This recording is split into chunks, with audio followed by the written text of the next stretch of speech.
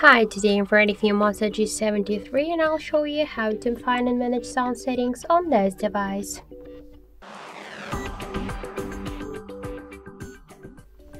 So let's first open the settings application and then tap to the sound and vibration. You will see here this sound and vibration section with the media call, ringtone, notifications and alarm volumes. Just to change them, you should slide to the left or to the right side these dots. Also get here the Dolby Atmos uh, section just to use them. You should just see this tutorial and just go to the settings you can just watch it from smart audio to music movie games podcasts or custom if you want to use the don't disturb mode you should click to turn it on or to turn it off to the switcher to allow the notifications messages uh, or calls from any people's apps or alarms. You should just click it here uh, also we can set the schedule the start and the end time of the don't disturb mode and to change the duration for quick settings we should also click here. And if you want to display options for hiding notifications just with no sound for notifications with a lot sound from notifications or just to set the custom settings just select one from these available settings.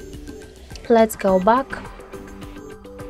here we can see multi-volume section. We can turn it on and turn it off with the click of the switcher uh, also we can set here the phone ringtone for sim 1 or sim 2 to use the live captions to show the media player and media recommendations. Just to use these options we should use the in vibration and haptics section we can see the use vibration and haptics switcher just to turn on or turn off these options use the switcher we can switch also here the settings for calls notifications and alarms and uh, to uh, turn on and turn off the interactive haptics to touch feedback and video vibration. So just to turn on and turn off all of these options, we should use the switchers. Let's go back. Also, we can change the notification and alarm sounds.